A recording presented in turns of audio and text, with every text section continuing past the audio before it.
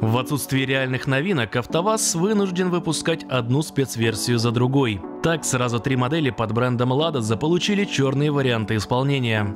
Вести и X-Ray перепали черная окраска крыши и зеркал, двухцветные колеса и фирменные логотипы на оконных рамах. В салоне присутствует комбинированная черно-серая обивка сидений и темная отделка потолка.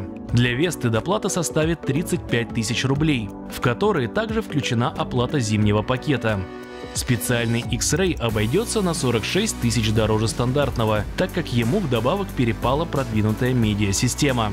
А вот внедорожник 4 на 4 готов порадовать лишь черным салоном и такого же цвета колесными дисками. Но и доплата – скромные 9 тысяч рублей.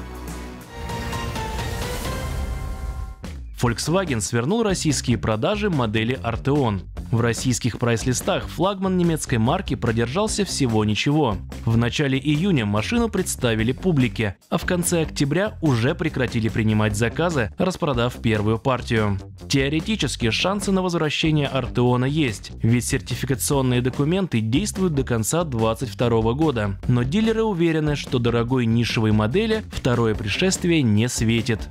Между тем, недавно Volkswagen представил свету рестайлинг своего флагмана.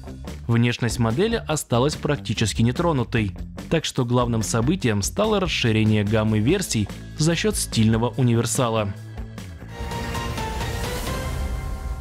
Еще один лифтбэк, китайский Jack J7, наоборот, только выходит на рынок. По габаритам пятидверка крупнее Шкоды Октавии. Единственный силовой агрегат – связка полуторалитрового турбомотора и преселективного робота. Традиционно китайцы делают ставку на богатую комплектацию.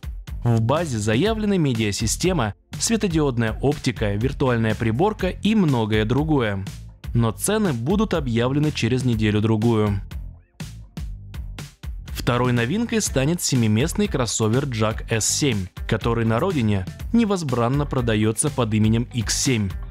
Переднеприводному паркетнику полагается более мощная версия того же моторчика объемом 1.5.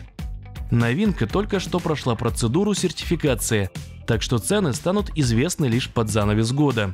К слову, из сертификатов следует, что обе машины Jack будут привозить из Казахстана, где налажена их крупноузловая сборка.